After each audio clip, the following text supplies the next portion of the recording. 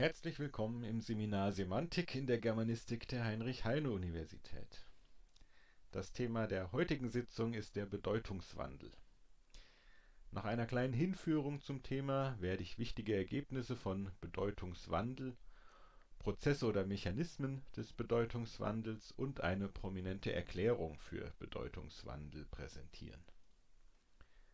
Das hier ist die Literaturgrundlage des heutigen Blogs und für die Ergebnisse und Prozesse des Sprachwandels werde ich mich auf Nübling et al. stützen für seine Erklärung auf Keller und Kirschbaum. Klären wir aber zunächst das Naheliegende, was ist eigentlich Bedeutungswandel? Das Zeichendreieck ist uns jetzt schon sehr oft behilflich dabei gewesen, Zusammenhänge in der Semantik deutlich zu machen, und auch jetzt können wir wieder darauf zurückgreifen. Sprachwandel können wir beispielsweise erforschen, indem wir uns auf die sprachliche Form oder Ausdrucksseite fokussieren und schauen, wie sich Formen zwischen Zeitschnitten verändern. Das kann man natürlich für jede Größeneinheit sprachlicher Formen machen, etwa für Phoneme, Morpheme, Lexeme oder Phrasen. Entsprechend hat man es dann auch mit phonologischem, lexikalischem, morphologischem oder syntaktischem Wandel zu tun wenn wir uns stattdessen den Inhalt, die Bedeutung eines Ausdrucks, ob jetzt Morphem, Wort, Phrase oder etwas anderes, zu zwei verschiedenen Zeitpunkten anschauen, dann haben wir es mit Bedeutungswandel zu tun. Viele Wandelprozesse auf der Formseite sind dabei relativ regelmäßig und direktional, das heißt der Wandel verläuft in bestimmte Richtungen und in andere nicht und die spezifischen Wandelprozesse haben auch unter gleichbleibenden Sprachgebrauchsbedingungen relativ stabile Wandelraten, das heißt der Wandel erfolgt mit einer bestimmten Geschwindigkeit. Beim Bedeutungswandel ist das anders. Er weist weniger vorhersagbare Muster und auch Richtungen des Wandels auf es gibt zwar auch hier Muster, manche werden heute noch zur Sprache kommen, aber sie sind oft allgemeiner als diejenigen von Wandelprozessen auf der Formseite. Und auch die Wandelraten scheinen kaum vorhersagbar zu sein. Man kann den Bedeutungswandel grundsätzlich aus zwei verschiedenen Perspektiven untersuchen. Die eine Perspektive geht von einem als konstant angenommenen Ausdruck aus und schaut von ihm aus auf das, was er bedeutet und die Gegenstände, auf die er sich bezieht und wie sich das verändert. Was bedeutet und worauf bezieht sich ein Ausdruck zu verschiedenen historischen Zeitschnitten? Das ist die sogenannte semasiologische Perspektive. Eine semasiologische Fragestellung wäre beispielsweise, wie sich die Bedeutung des Wortes Frau in der deutschen Sprachgeschichte verändert hat. Dabei wird der Wortkörper Frau als eine Art konstanter Type angenommen, der sich in der Sprachgeschichte nur äußerlich verändert hat und von diesem Type aus wird auf die Bedeutungen geschaut, und zwar zu verschiedenen Zeitschnitten. Die andere Perspektive schaut genau umgekehrt von als konstant angenommenen Gegenständen oder Gegenstandsbereichen darauf, durch welche Ausdrücke sie ausgedrückt werden In Bezug auf Wandelphänomene schaut man entsprechend von den Gegenständen oder Gegenstandsbereichen darauf, wie sich die Ausdrücke oder auch Wortfelder verändern, äh, durch die sie ausgedrückt werden, und erinnern Sie sich an Jost Triers Wortfelduntersuchung zu den Verstandeskräften um 1200 und 1300. Er hatte, versuch, er hatte untersucht, wie die menschlichen Verstandeskräfte zu diesen beiden Zeitschnitten jeweils ausgedrückt werden damit hat er eine sogenannte onomasiologische Perspektive eingenommen. Wir werden im Folgenden Bedeutungswandel vor allem aus der semasiologischen Perspektive, also von den Ausdrücken aus betrachten. Und wir beginnen damit bei den Ergebnissen oder Resultaten semantischen Wandels. Dabei handelt es sich um eine Sammlung und Systematisierung von Wandelresultaten die die ältere Bedeutungswandelforschung angelegt hat. Dabei hat diese Forschung noch keine Aussage zu Auslösern und Mechanismen gemacht, das heißt keine großartigen Erklärungsversuche unternommen. Zunächst möchte ich Sie an den Begriff der Polysemie aus Sitzung 4 erinnern. Polysemie liegt vor, wenn ein Ausdruck mehrere Lesarten oder Bedeutungsvarianten aufweist, die aber untereinander Ähnlichkeiten, gemeinsame Merkmale aufweisen. Die Polysemie, und deswegen erwähne ich sie hier, ist bei den meisten Wandelprozessen mitbeteiligt. Bedeutungen von Ausdrücken verändern sich nicht schlagartig von Bedeutung A nach Bedeutung B, sondern meistens bestehen, nachdem ein Ausdruck Bedeutung A hatte, lange Zwischenstadien, in denen er A und B bedeutet und dabei die Kontexte mehr werden, in denen der Ausdruck nur noch B meint. Synchron ist das Polysemie, diachron ergibt es Bedeutungswandel. Die Polysemie hat in der folgenden Liste an Ergebnistypen von Bedeutungswandel deshalb einen besonderen Status Sie ist nämlich meistens beteiligt. Kommen wir aber damit zum ersten echten Ergebnistyp beim Bedeutungswandel, der Bedeutungserweiterung. Was passiert, wenn sich die Bedeutung eines Ausdrucks erweitert? Er verliert in seiner Geschichte ein oder mehrere Bedeutungsmerkmale. Jetzt könnte man sagen, hä, wenn er Bedeutungsmerkmale verliert, warum erweitert sich dadurch die Bedeutung? Die Antwort ist, weil er Bedeutungsmerkmale verliert, wird er auf mehr Gegenstände als vorher anwendbar. Die Bedeutung wird sozusagen weniger restriktiv, weniger speziell. Zwei Beispiele sind fertig und werden. Bei fertig hat eine lexikalische Bedeutungserweiterung stattgefunden. Es kommt von Fahrt und hieß einmal so etwas wie für die Fahrt gerüstet. Bis heute hat es Merkmale verloren, die auf die Fahrt bezogen sind. Es bezeichnet jetzt, dass jemand oder etwas bereit oder abgeschlossen für alles Mögliche ist, nicht nur für die Fahrt.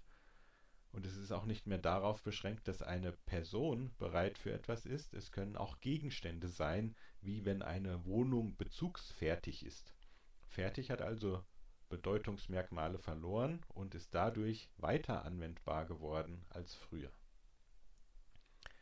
Bei werden ist das anders. Es hat nicht bloß eine lexikalische Bedeutungserweiterung erfahren, sondern es hat sich im Rahmen eines sogenannten Grammatikalisierungsprozesses in ein Funktionswort, in ein grammatisches Wort verwandelt.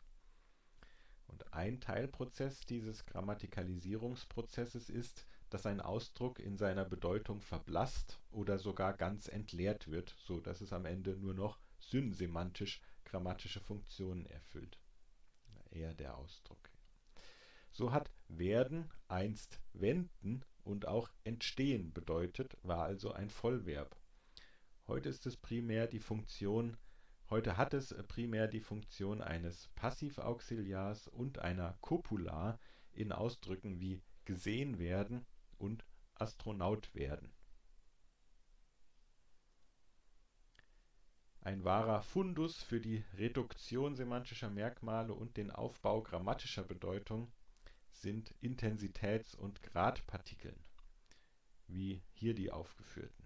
Sehr, arg, furchtbar und so weiter bezeichnen oder bezeichneten ursprünglich negative körperliche Empfindungen.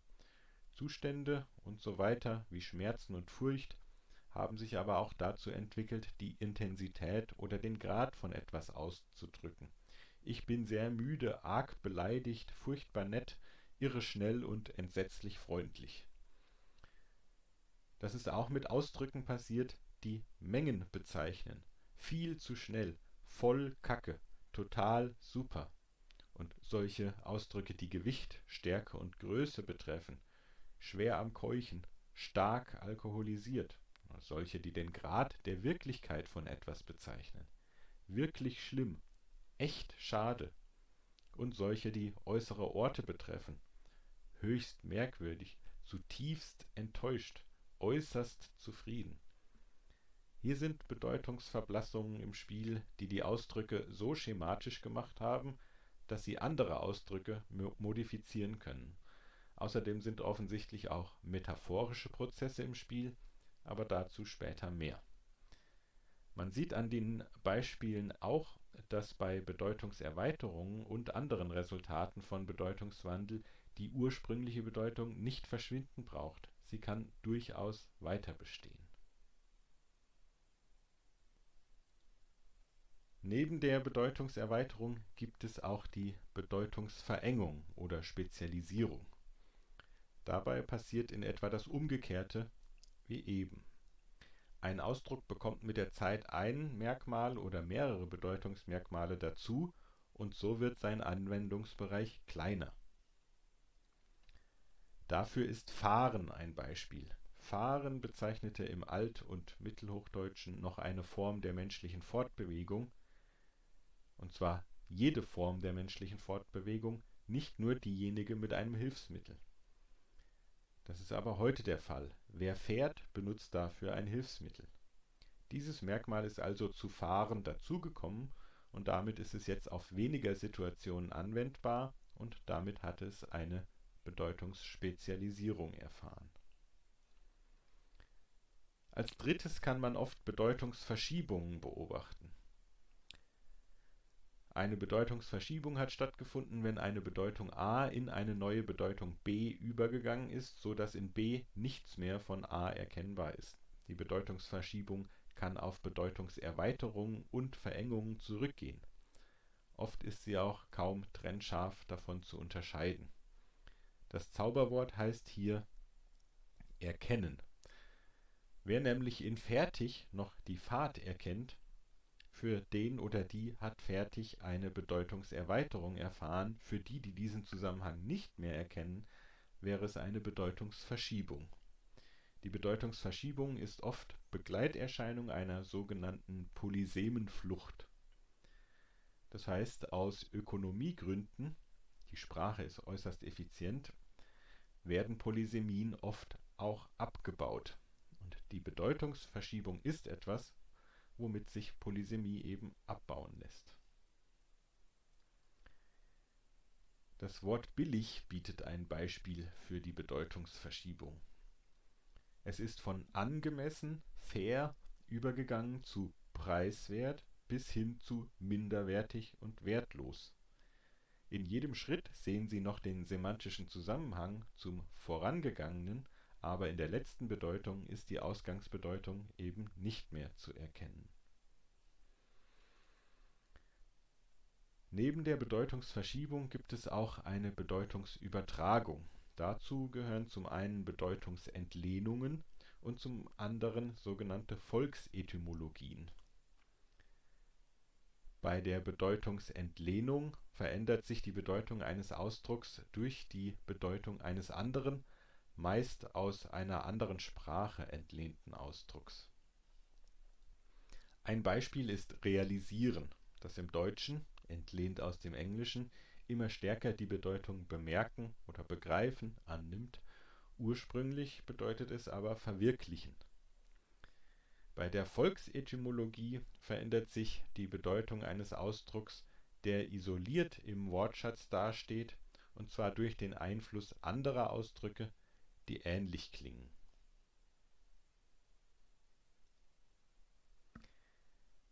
Kommen wir nun nach Erweiterung, Verengung und Verschiebung, Übertragung zu zwei weiteren Ergebnistypen von Bedeutungswandel, der Bedeutungsverschlechterung oder Pejorisierung und der Bedeutungsverbesserung oder Meliorisierung. Bei beiden gehen qualitative Bewertungen, die einstmals Konnotationen waren, in die Denotation eines Ausdrucks über. Eine Bedeutungsverschlechterung kann eintreten, wenn ein Ausdruck mit positiver Bedeutung eine neutrale oder negative annimmt und wenn ein Ausdruck mit neutraler Bedeutung eine negative Bedeutung annimmt.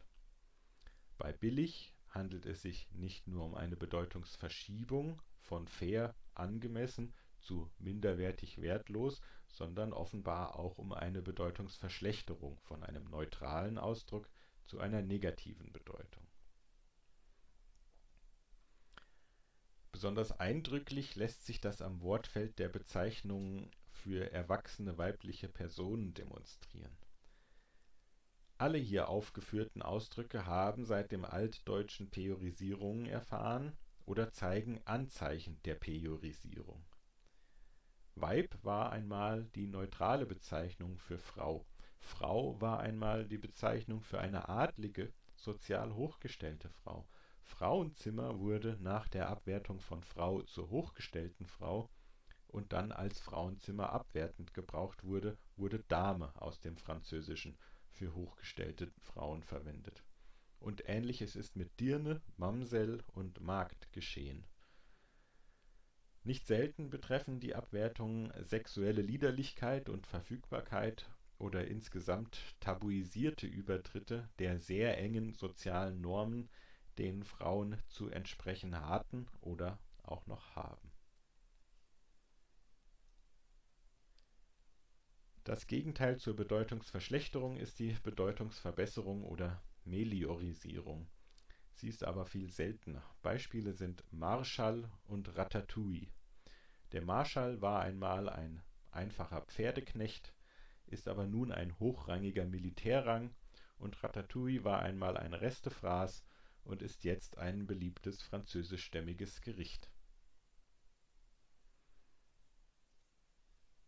Hier sind nochmal die Ergebnisse semantischen Wandels zusammengefasst. Ich habe sie mal in, Fa in äh, Paare zusammengefasst. Die Erweiterung versus die Verengung auf der linken Seite, die Verschiebung und die Übertragung auf, äh, in der Mitte und die Verbesserung und Verschlechterung auf der rechten Seite.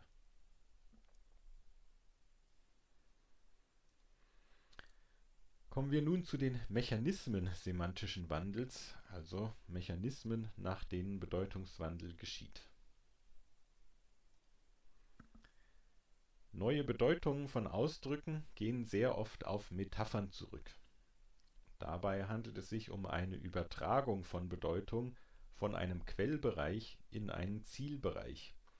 Quell- und Zielbereiche müssen dafür schon irgendwie vergleichbar sein die Richtung der Bedeutungsneuerung ist dabei so, dass die metaphorische Bedeutung im Zielbereich die neue ist. Wenige Beispiele von zahllosen sind die Wörter begreifen und erfassen für Verstehensprozesse, etwas im Griff haben für Kontrolle und Tischbein, Brückenkopf und Fingerhut für Komponenten von Gegenständen. Die semantischen Quellbereiche dieser Ausdrücke sind fast immer solche der leiblichen Erfahrung oder insgesamt des sensomotorischen Bereichs und die Zieldomänen sind eher solche, die weniger kon konkret sind und indirekter erfahren werden. Die Wendung etwas im Griff haben zeigt, dass die wörtliche Bedeutung des Quellbereichs und die übertragene des Zielbereichs auch nebeneinander existieren können. Man kann sowohl den Lenker fest im Griff haben als auch seine Schwäche für Schokolade. Sobald die Bedeutung aus dem Quellbereich verschwunden ist, ist die Metapher lexikalisiert. Erfassen können wir nur noch abstrakte Dinge. Den Lenker können wir nur noch ergreifen, aber nicht mehr begreifen oder erfassen. Begreifen oder in diesem Falle erfassen ist äh, ganz stark lexikalisiert, eine ganz stark lexikalisierte Metapher. Es gibt sogar so etwas wie mutmaßlich universelle Metaphorisierungspfade, zum Beispiel für die Adjektive, die Sinneswahrnehmungen betreffen. Hier in dieser Abbildung bilden die weiter links stehenden Sinne die semantischen Quellbereiche für die Adjektive der weiter rechts stehenden Sinne. Das heißt, die Bedeutungen der Sinne weiter links werden auf die Sinne weiter rechts übertragen, aber eben nicht umgekehrt. Das macht ja den Pfad aus Anders gesagt, die Sinne weiter rechts werden infolge von Bedeutungswandel mit den, mit den Mitteln der Sinne weiter links ausgedrückt. Man kann diesen Metaphorisierungspfad tatsächlich in zahlreichen Sprachen beobachten, auch solchen, die nicht miteinander verwandt sind. Beispiele aus dem Deutschen sind scharfes Messer für Gefühl versus scharfes Curry für Geschmack, scharfer Geruch für den Geruch scharfer Winkel für den Gesichtssinn, das Sehen. Oder warme Füße, warme Farben, tiefes Wasser, tiefer Ton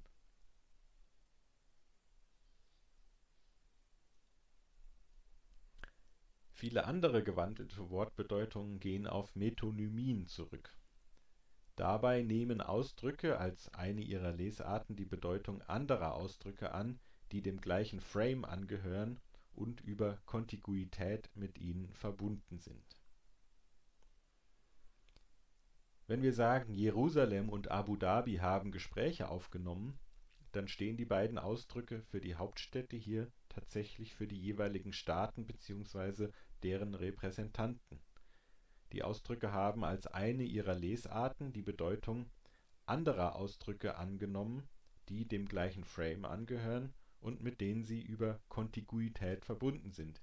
Jerusalem ist mit Israel und Abu Dhabi mit den Vereinigten Arabischen Emiraten über Kontiguität verbunden. Kontiguität bezeichnet dabei irgendeine Beziehung der Nähe, zeitlich, räumlich, kausal oder anders. Die Hauptstädte sind mit ihren Staaten über eine Teil-Ganzes-Relation verbunden. Noch andere Metonymien, die lexikalisiert sind, sind zum Beispiel Ernte und Rechnung, bei denen äh, hat der Ausdruck für eine Handlung die Bedeutung des Handlungsergebnisses angenommen. In Bachmann-Lesen hat der Name der Autorin die Bedeutung des Werks der Autorin angenommen. Und in Toll hat ein Ausdruck für einen Effekt die Bedeutung der Ursache für diesen Effekt angenommen Auch bei Metonymien gibt es so etwas wie feste Wandelpfade. Beispielsweise findet bei Ausdrücken für Körperteile der Wandel nach dem Pars pro toto Prinzip statt, also dass der Teil für das Ganze äh, angewendet wird. Entlang von bestimmten Teil für Ganzes Pfaden wie Nabel, Bauch, Rumpf, Körper und Person ändern sich die Bedeutungen von Ausdrücken von Ausdrücken für Teile zu Ausdrücken für das nächstgrößere Ganze, aber nicht umgekehrt nach einem Totum pro parte Prinzip. Das heißt, in einer Sprache kann der Ausdruck Nabel für Bauch verwendet werden durch einen Wandelprozess. Bauch kann äh, Rumpf bedeuten, Rumpf kann Körper bedeuten und Körper kann dann ganze Person bedeuten. Immer vom Teil zum nächstgrößeren Ganzen findet hier die Bedeutungsübertragung statt, aber dieser Pfad funktioniert nicht umgekehrt. Bei der Implikatur handelt es sich eigentlich schon um einen pragmatischen Schlussfolgerungsprozess, bei dem eine, Endo, bei dem eine Äußerung offensichtlich gegen bestimmte Konversationsregeln verstößt, so dass man davon ausgehen muss, dass mit ihr noch etwas anderes gemeint sein muss. Und das muss man im Äußerungskontext erschließen. Wenn ich jetzt sagen würde, meine Tochter ruft, dann wäre das nicht besonders relevant für Sie. Sie können aber schlussfolgern, dass ich die Aufnahme dafür unterbrechen muss, die Sie gerade anschauen, damit ich mich um meine Tochter kümmern kann. Das ist eine Implikatur Ihrerseits. Nun kann es sein, dass ein Ausdruck in einem immer wiederkehrenden Kontext so oft Gegenstand einer Implikatur wird, dass die kontextabhängige pragmatische Bedeutung zu einer kontextunabhängigen semantischen Ausdrucksbedeutung wird. Die Implikatur wird auf diese Weise konventionalisiert. Das ist beispielsweise bei mehreren temporalen Konjunktionen im Deutschen und in vielen anderen Sprachen passiert Manche dieser Konjunktionen haben noch eindeutig temporale Lesarten. Seit, seit Otto hier ist, regnet es ununterbrochen. Das bedeutet hier auch eine zeitliche Relation. Während sie liest, hört sie Musik. Ebenfalls eine temporale äh, Bedeutung. Und man muss das Eisen schmieden, weil es heiß ist. Das ist jetzt eine neuhochdeutsche ziemlich wörtliche Paraphrase eines mittelhochdeutschen Satzes. Im Mittelhochdeutschen hieß weil nämlich noch während. Dieses weil ist mit unserer Weile verwandt und das bezeichnete im Mittelhochdeutschen noch einen Zeitraum. Sie sehen bei diesen drei Beispielen, sind die Beziehungen zwischen den Teilsätzen noch eindeutig temporale Beziehungen. Damit eine erschlossene Bedeutung, eine implikatierte Bedeutung konventionell werden kann, muss der Ausdruck eine Zeit lang polysem sein. Und polysem ist oder sind diese Ausdrücke, die Konjunktionen, in sogenannten Brückenkontexten. In solchen Kontexten können sie das bedeuten, was sie schon immer bedeutet haben, nämlich temporale Relationen, aber auch schon etwas anderes, das pragmatisch erschlossen wird, weil die eigentliche Bedeutung gegen Konversationsmaximen verstößt. Beispiele wären: Seit Otto hier ist, ist die Stimmung schlecht oder Während sie liest, wischt er die Wohnung und er legte sich ins Bett, weil er Kopfschmerzen hatte. Hier kann neben den temporalen Relationen auch schon eine jeweils eine andere Relation ähm, gemeint sein, zum Beispiel eine der Begründung, eine des Gegensatzes und noch eine weitere der Begründung. Das heißt, die Konjunktionen können in solchen Brückenkontexten schon sowohl temporal als auch logisch verstanden werden. Seit ist im Neuhochdeutschen noch keine kausale Konjunktion, aber in diesem Satz hier werden wir zu der Implikatur eingeladen, dass Ottos Anwesenheit ursächlich für die schlechte Stimmung ist und nicht nur zeitlich damit in Verbindung steht. Seit könnte also in Zukunft zu einer kausalen Konjunktion werden. Während kann hier schon als Äußerung eines Gegensatzes gelesen werden und weil hat es äh, wahrscheinlich auch äh, und für weil hat es wahrscheinlich auch äh, Brückenkontexte wie diesen hier in der Vergangenheit gegeben Sobald die Implikatur dann konventionalisiert ist, können die Konjunktionen auch ausschließlich logisch gebraucht werden, so in Kontexten, in denen temporale Lesarten sogar völlig unplausibel sind, so wie hier.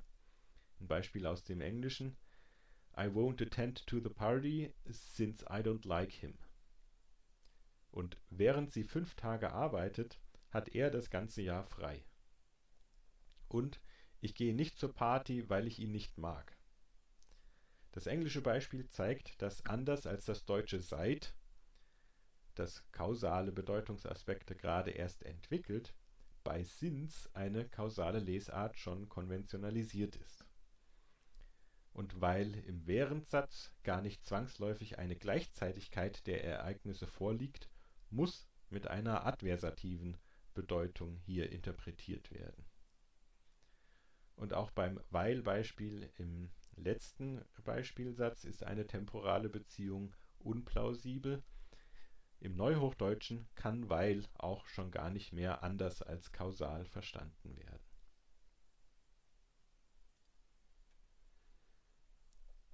Tabus und heikle Themen werden oft dadurch verbal abgemildert, dass sie beschönigt werden. Und wenn das oft genug geschieht, dann können die beschönigenden Ausdrücke die Bedeutung des beschönigten Sachverhalts annehmen. Und diesen Mechanismus nennt man Euphemismus. Euphemismen sind hinreichend aus der Sprache der Politik bekannt, aber auch im Alltag sind sie ziemlich häufig. Heikle Sachverhalte sind zum Beispiel Tod, Sexualität, menschliche Ausscheidungen und Abweichungen von Schönheits oder intellektuellen Idealen. Da entschlafen Menschen, gehen heim, scheiden dahin, Soldaten fallen, Paare lieben sich, schlafen miteinander, jemand tritt aus, wirft aus, verschwindet mal kurz, Leute sind kräftig oder einfach gestrickt. All das lässt sich auch mit weniger Beschönigung ausdrücken. Ist dann allerdings weniger höflich bzw. verstößt dann gegen solche Tabus äh, und versteckt die Heikelheit von Themen nicht. Der letzte Mechanismus, der hier angesprochen werden soll, ist die Ellipse. Dabei wird ein Ausdruck verkürzt, oft auch um einen Sachverhalt zu euphemisieren und der verkürzte Ausdrucksteil kann dabei die Bedeutung des vollständigen Ausdrucks annehmen. Hier sind einige Beispiele für Ellipsen: die Pille für die Antibabypille, Trinken für alkoholsüchtig sein, Leck mich für den Ausdruck von Verachtung, mal müssen dafür, dass jemand zur Toilette gehen muss, wobei Toilette selbst schon ein Euphemismus ist, Aufschneiden für prahlen. Das war ehemals das Braten beim gemeinsamen Festessen mit einem großen Messer vor aller Augen.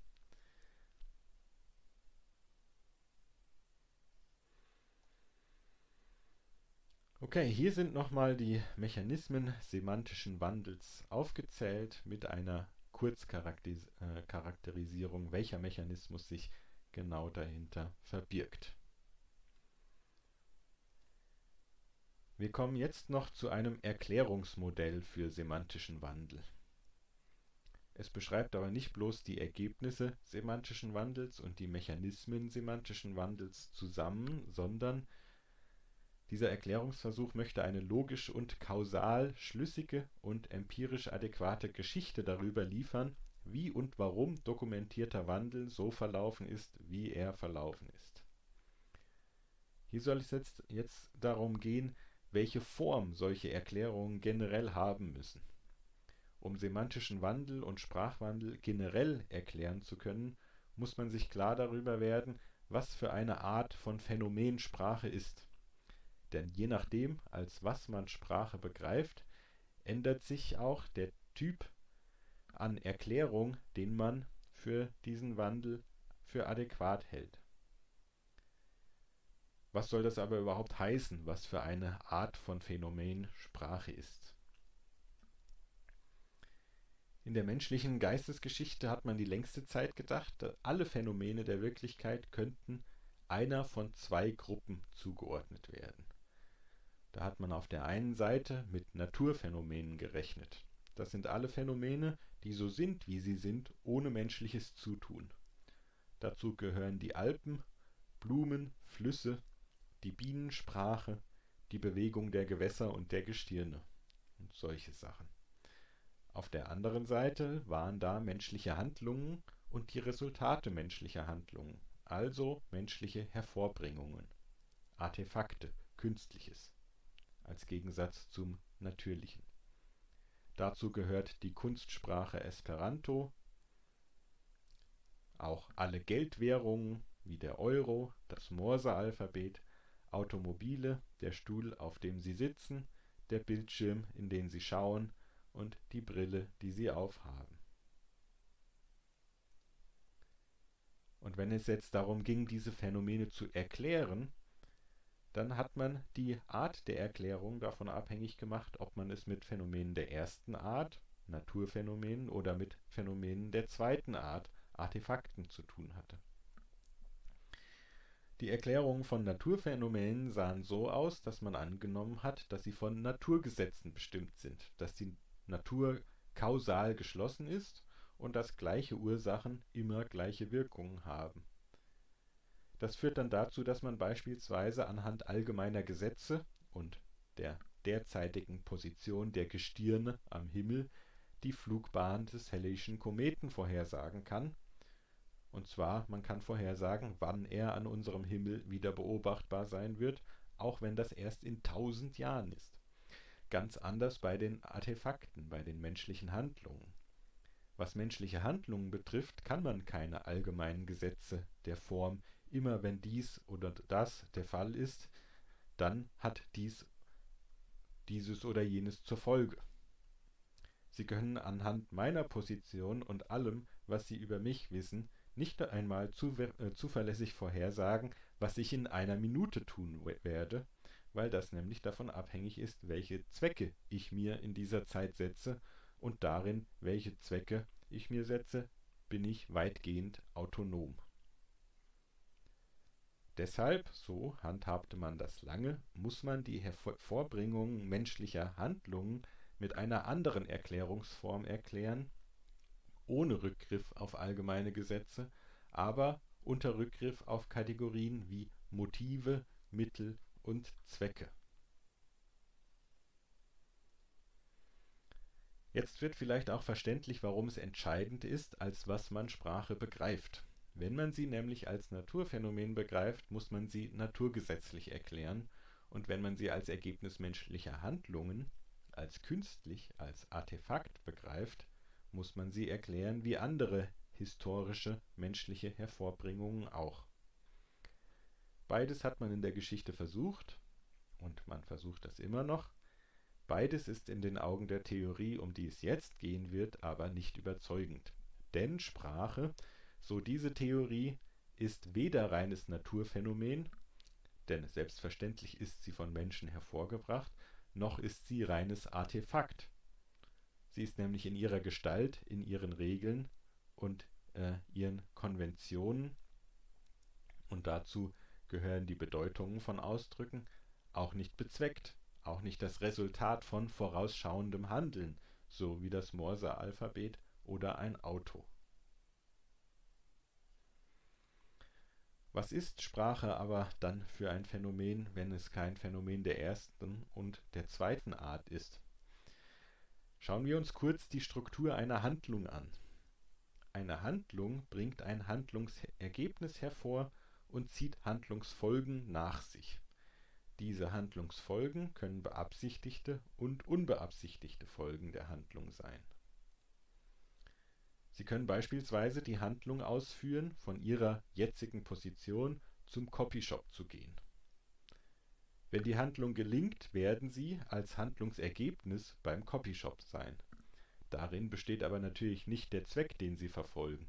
Der besteht eher darin, dass Sie etwas kopieren eine beabsichtigte Nebenfolge ihrer Handlung besteht nun eben darin, dass sie kopieren können, wenn sie beim Copyshop sind. Und meistens liegen tatsächlich die Zwecke von Handlungen nicht in ihren Ergebnissen, sondern in den Nebenfolgen, die gezielt durch sie hervorgebracht werden.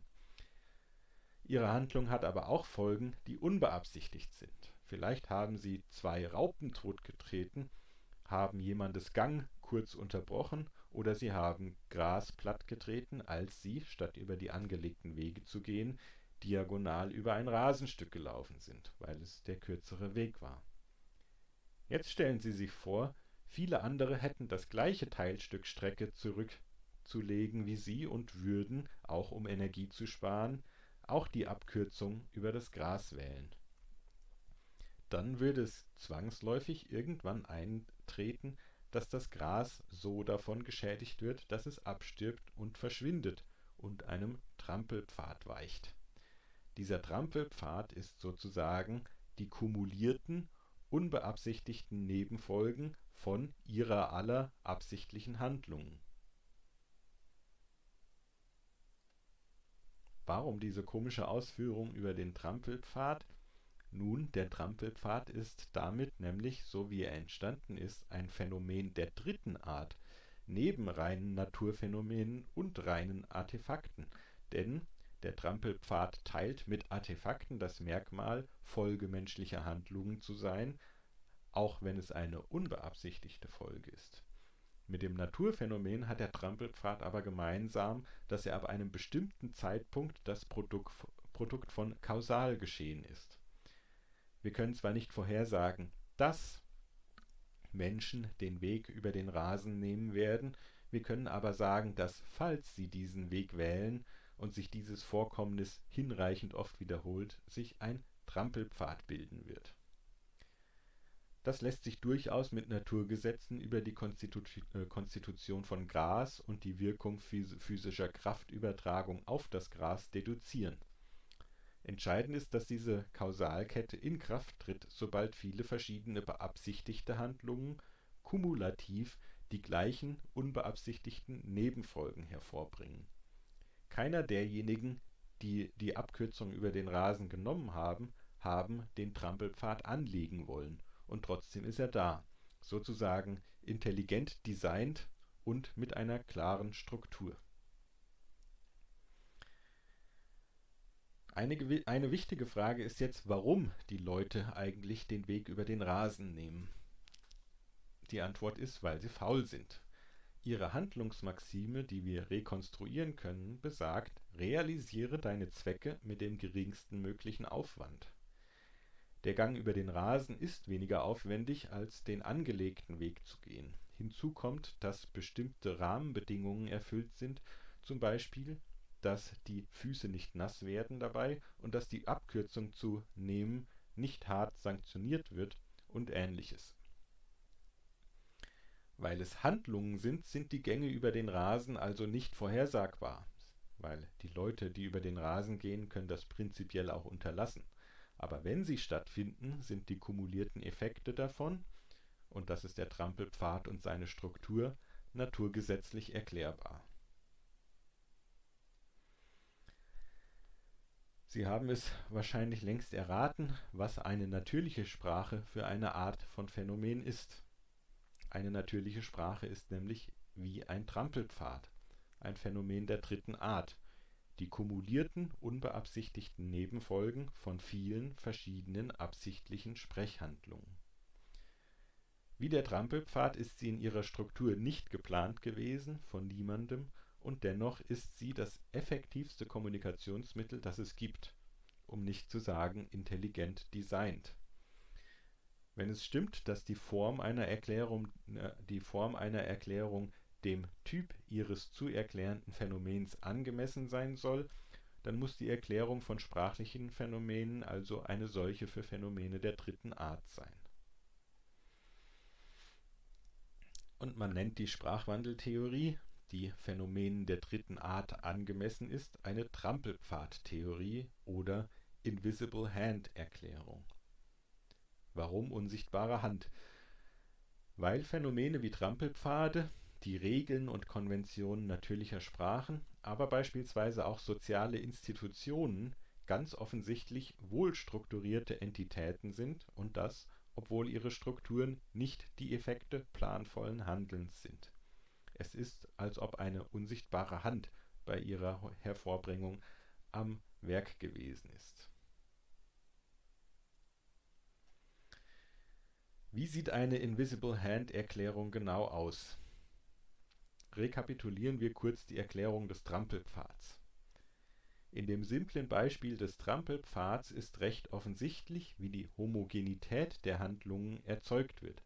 Menschen haben die Tendenz, sich ökonomisch zu verhalten, das heißt bei der Erreichung ihrer Ziele auf die Kosten zu achten. Wenn sie dies bei den Unternehmungen von A nach B zu gelangen tun und, und hinreichend viele tun es, da es unsere Gesellschaft derzeit toleriert, entsteht in unserem Klima und mit unseren Graspflanzen ein Trampelpfad, denn Graspflanzen sterben ab, wenn man hinreichend häufig auf sie tritt. Diese Erklärung des Trampelpfads hat drei Komponenten. Erstens eine Mikroebene. Auf der Mikroebene beschreibt man Handlungsweisen von Individuen, von welchen Rahmenbedingungen es abhängig ist und nach welchen Maximen äh, sich das Handeln richtet. Auf sie baut auf, dass viele Individuen dasselbe tun. Das Ganze hat hypothetischen Charakter. Diese Maximen kann man nicht sehen, man muss sie aus dem Beobachtbaren rekonstruieren so ist das auch bei der Abkürzung über den Rasen aus Gründen der Energieersparnis. Die zweite Komponente ist der Invisible-Hand-Prozess selbst. Er kommt zustande, weil auf der Mikroebene viele verschiedene Individuen unter gleichen Rahmenbedingungen nach der gleichen Maxime handeln. Der Invisible-Hand-Prozess ist dann die kausal verlaufende Entstehung des Trampelpfads dadurch, dass sich die unbeabsichtigten Nebenfolgen der vielen einzelnen Handlungen kumulieren. Dabei können auch neue Randbedingungen entstehen. Zum Beispiel kann die Hemmschwelle, über den Rasen zu gehen, für andere sinken, weil sie sehen, dass das Gras bereits plattgetrampelt ist. Und damit kann der ganze Prozess noch einmal beschleunigt werden. Die dritte Komponente ist die Beschreibung der erzeugten Struktur, des Trampelpfads oder eben der Regeln und Konventionen einer natürlichen Sprache. Oft steht dieser Schritt tatsächlich am Anfang. Wir haben ja auch Bedeutungswandel schon beschrieben. Wir wissen schon, was mit billig, fertig und miteinander schlafen passiert ist, wir wissen aber nicht, wieso es passiert ist. Wir haben es beschrieben, aber nicht erklärt. Wir gehen also von der Makroebene aus und rekonstruieren hypothetisch das, was auf der Mikroebene passiert ist und wie der Invisible-Hand-Prozess ausgesehen hat, damit am Ende davon die sprachliche Makrostruktur steht, die wir kennen. Mikro- und Makroebene heißt das, weil auf der einen individuelle Handlungen stehen und auf der anderen überindividuelle Strukturen, nämlich beispielsweise Sprachen. Wenn man eine Invisible-Hand-Erklärung nicht mit der Makrostruktur beginnt, sondern mit den Komponenten 1 und 2, dann kann man die Makroebene daraus ableiten, sozusagen vorhersagen, was unter den Bedingungen, die unter 1 und 2 formuliert sind, passieren wird. In menschlichen Angelegenheiten ist das allerdings nie möglich, und zwar, weil die Struktur der Maximen und die Rahmenbedingungen viel zu variabel sind. Versuchen wir zum Schluss noch die Invisible-Hand-Erklärung konkret auf den Bedeutungswandel anzuwenden. Denken Sie noch einmal an den Euphemismus zurück, die beschönigende Weise, in der wir über heikle Themen sprechen. Auf der Makroebene haben wir jetzt den Zustand, dass Entschlafen Sterben bedeuten kann und dass schlichtes Gemüt bedeuten kann, dass jemand intellektuell underperformt und so weiter. Wie ist das zu erklären? Was können die Handlungsweisen auf der Mikroebene, die Handlungsmaximen und die Randbedingungen gewesen sein, und welche Invisible-Hand-Prozesse hat das in Gang gesetzt, damit die semantischen Strukturen jetzt die sind, die sie sind? Die Hypothese ist folgende: Die fraglichen Handlungen bestanden darin, dass man etwas über jemand anderes sagte, das negativ bewertete oder tabuisierte Bedeutungskomponenten enthielt, eben Krankheit, Tod, Sex, Dummheit. Die Maxime dabei war aber: sei höflich Verletze niemanden. Um das zu realisieren, verwendet man eine euphemistische Ausdrucksweise. Für ihre Adressatin ist das dann eine interpretative Herausforderung. Sie muss erkennen, dass mit kräftig nicht hohe Körperkraft, sondern Übergewicht gemeint ist. Sie wird sich das pragmatisch erschließen können. Möglicherweise wird sie den Ausdruck dann bei nächster Gelegenheit selbst verwenden und so weiter bis kräftig in der Sprachgemeinschaft polysem ist. Der Invisible-Hand-Prozess startet, sobald kräftig in der Lesart übergewichtig eine kritische Frequenz in der Sprachgemeinschaft erreicht, dann wird die beschönigende Lesart des Ausdrucks zu seiner Kernbedeutung. Niemand, der kräftig mit der Maxime der Höflichkeit verwendet hatte, hatte das beabsichtigt. Die unsichtbare Hand ist's gewesen. Und noch mehr als das, nun könnte es dazu kommen, dass kräftig gar nicht mehr höflich ist, falls es nämlich gar kein Euphemismus mehr ist, weil übergewichtig zu seiner Kernbedeutung geworden ist. Und dann muss das ganze Spiel wieder von vorne anfangen.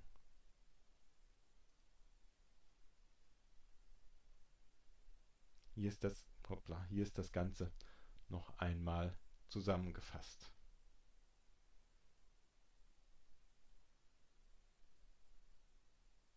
Die Maxime und die Handlung auf der Mikroebene, dann die zweite Komponente, der Invisible Hand Prozess und die dritte Komponente, die Veränderung auf der Makrostruktur und der Jetzt-Zustand, die Beschreibung des Jetzt-Zustands. Und damit sind wir wieder einmal am Ende. Ich danke Ihnen einmal mehr für Ihre Aufmerksamkeit und sage Tschüss, bis zum nächsten Mal und bis zum letzten Mal.